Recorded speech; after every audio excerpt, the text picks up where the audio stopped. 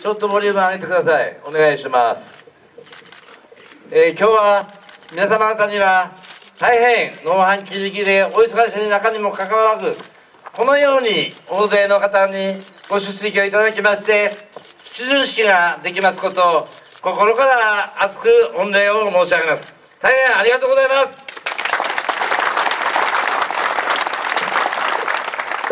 す。先ほど来編の方が見えないという心配したかと思います。事務局で連絡しなかったって言うんですよ。こればっかりは私も困りました。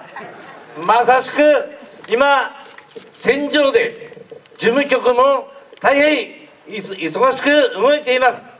ですから人間には連絡を落としたりあるいはあれを忘れちゃったなんてのは常にあります。皆さんもそういうことありませんか？あるでしょ？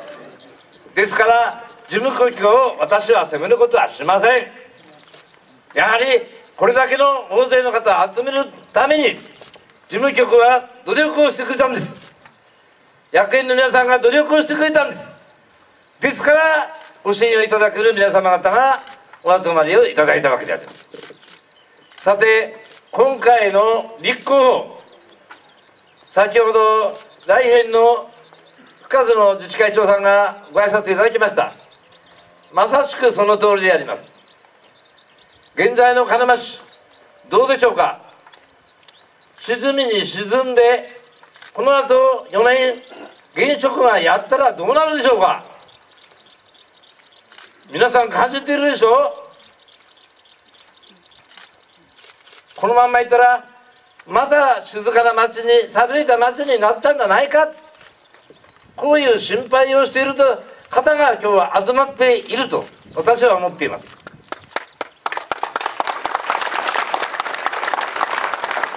なぜでしょうか。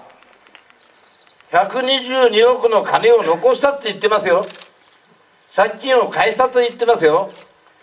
平成20年度の5月だったでしょうか。下野新聞見てください。実質交際比率予算に対して借金です。15.4ですよ。18以上いくと実証の主導になるんです。ですから健全財政だということで新聞に出ていました。下月さん覚えてるでしょ？書いたの。ね。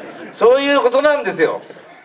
いかに鹿沼市が借金をしても健全な財政か各自治体はみんな借金あるんです。ないところっていうのはないんですね。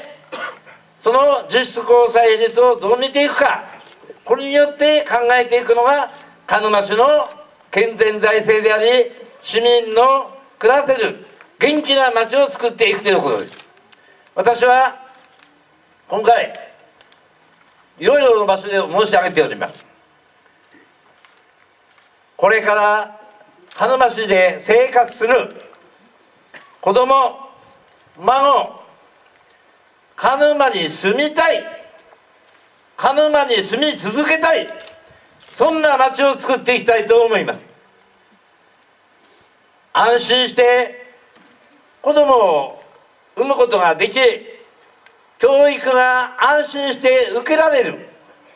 そして高齢者が今まで地域のためにあるいは家族のために働いてまいりました。その人たちが高齢の方々がどういう生活をできるか安心して生活ができるかというそのようなことを考えていかなければならないと思っています。私は2期8年皆さんにお世話になって市長を進めさせていただきました。先ほどスペーシアの話が出ました。東部に行って直談判して今電車が止まってるんです。鹿沼市が熊本市のように災害があった時一番最初に被災者は何と言いましたか？車が欲しい。何が欲しい？といった言葉の中に水ですよ。水。水です。最初に言った言葉は水なんです。水が欲しい。飲料水が欲しい。鹿沼市は4基水道管のパイプの中にタンクを設置しています。これも当時の 熊倉長官に掛け合ったんです。最初は返事がよろしゅうございませんでした。しかし最後にはいろいろ災害があった時には水が一番必要だと。体の60%以上が水なんだからこれが必要だと。いうことで補助をいただくことによって鹿沼市には4基ついてるんだ。しかも鹿沼市民が3日間この水を飲むことができるんです。消防用の防火水槽じゃないんです。水道管の中にできてるんです。ですから生きた水なんです。そういうような施策もしました。今そばを浮いてます。そば天国。やりました。焼肉の町鹿沼。私の同級生が焼肉屋やってたんで鹿沼湾乳を使った焼肉の町鹿沼を立ち上げるということで立ち上げさせていただきました。もっと素晴らしいのは全国に先立った施策があるんです。母子家庭の手当国はやってましたね。鹿沼市は母子家庭だけじゃおかしいだろうと。父家庭だって大変なんだと。もっと父家庭の方が大変かもしれません。じゃあ父家庭の手当を母子家庭と同じように出そうじゃないか。こう決めさせていただいて国より先に実施をしたんです。数年後で数年後に国が実施しましたね。父家庭の手当あれは鹿沼市が最初に始まった事業なんですよ。そのように鹿沼市というのはやはりやる気になって予算の少ない予算かもしれませんが獲得してやることによって市民の生活と魅力ある鹿沼市を作ることがあります。もう一つは住環境です。歴代市長が住環境をやりましたね。区画整理事業。古澤市長は何をやりました？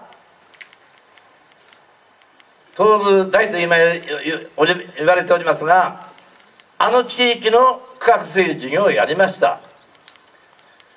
稲川市長何やりましたか？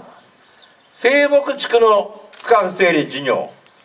下横町の区画整理事業をやりましたね。福田市長何やりました？この地域貝島西の区画整理事業をやったんです。私新鹿沼行き西の区画整理事業と東部行きの前の区画さらには JR の駅前の一一区画ですが区画整理をやりましたね。区画整理が何で必要かということです。人が住むのには住環境が良くなければいい。ダメなんです住むのには便利で環境が良くなければダメなんですですから鹿沼に例えば小村原さんに来てお客さん鹿沼に寄ります。あるいは今宮神社に寄るかもしれません。あるいは買い物がするかもしれません。その人たちがこの町は暮らしやすい町だよねと。こう感じた時皆さんどうでしょう？皆さん他の町行ってこの町素晴らしいなって感じますよね。住んでみたいという気持ちになりませんか？そういう気持ちにすることが一番重要なんです。そして鹿沼に住んでもらう。もう一つはいろいろ述べますが第三種対策事業。若い方がおられます。今来てます。ある人が言いました。第三三種対策事業がなくなって私は困ったと。1か月前に生まれた人は三種対策事業に当てはまって保育園が楽ただだったと。こういう話です。だけどがやはり10万都市を割った現在そのように第三種対策事業もバージョンアップをして実施をしなければならない。と私は思います。先ほど言いました高齢者の問題もそうです。今まで働いた方々にはどう何をやるか。もう地域で地域が支え合う。そういう仕組み仕組み。ホットサロン。ホットホーム。立ち上げたのは私ですよ。それをもっともっと充実して支援をできるようにする。これが大切だと思います。それでは働く人の形はどうでしょう？鹿沼の町に鹿沼の町に先ほど住み続けたいという話をしました。鹿沼の町に有料企業やそのような施設を配置をして誘致をしてそして大学が東京ならば鹿沼の A 会社に入りたい B 会社に入りたいそういうふうな有料企業あるいは鹿沼市の生活を守る消費生活を守るためには商業施設なども導入をする。これが鹿沼市の住みよいまちづくり。魅力あるまちづくりだと思っています。いろいろ述べました。今回の選挙戦あと1週間であります。今日お集まりの方先ほど土下座をしてお願いをされました。関口議員に私は涙がポロリとして出ました。本当に鹿沼を良くするのは誰なんだということを果たして感じていてくれるのが関口議員なんです。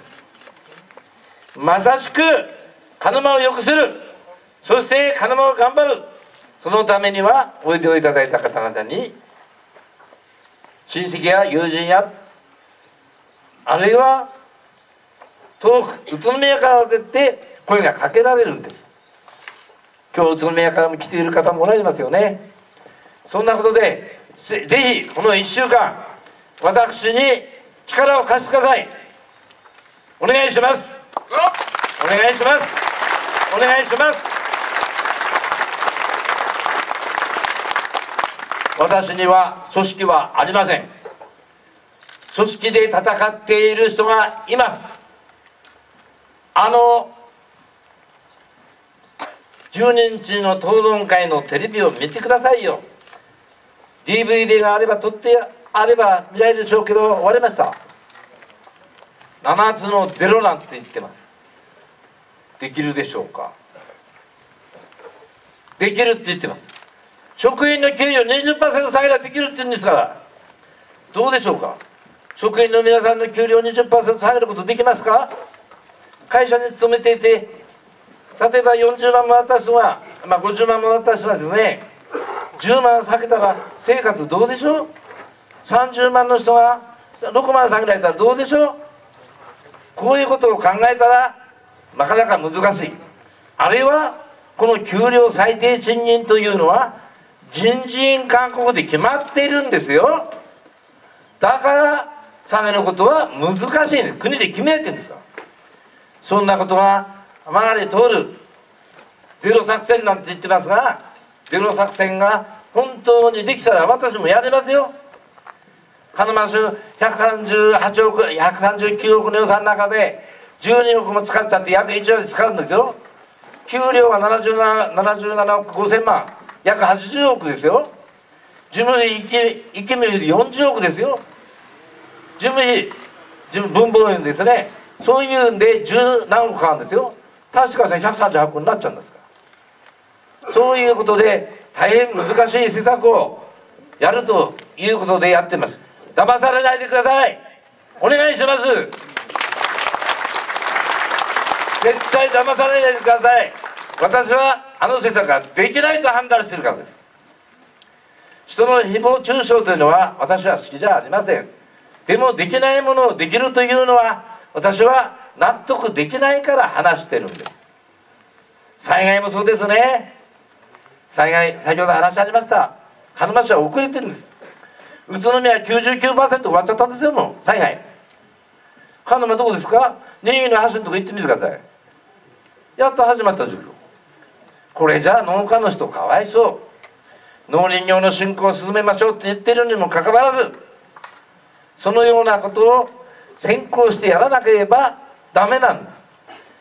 10万都市を作る。そのためには農林中工業の振興をしていなければならないしブランドの指定そその時代に合ったブランド品を作って統一表示をして販路の拡大をすると。このようなことも考えています。まあ話せば私はいろいろ創作想像力の開発という勉強をしてるんです。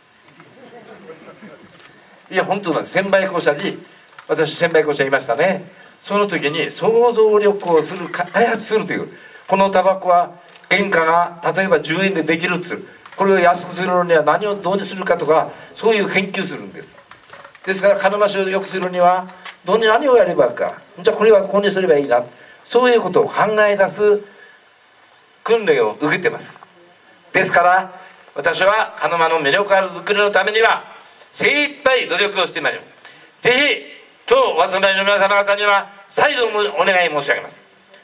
力強くご支援とご協力をいただいて1週間のうちに約700人ぐらいいるんでしょうかね。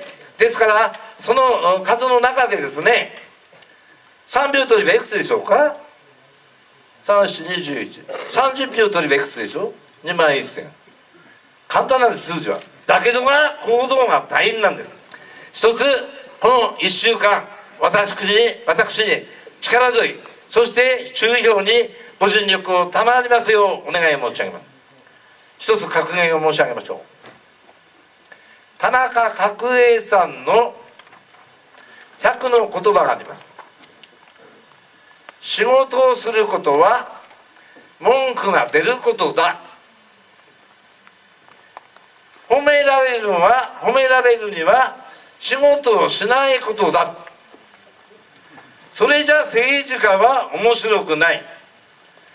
批判を受けても恐れずやれ。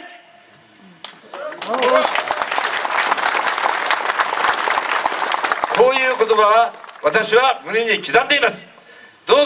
この1週間ご支援とご協力をよろしくお願い申し上げまして私の決意の表明に変えさせていただきます。よろしくお願い申し上げます。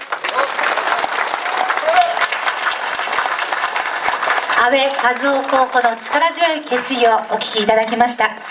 ここで候補者の奥様薫夫人をご紹介させていただきます。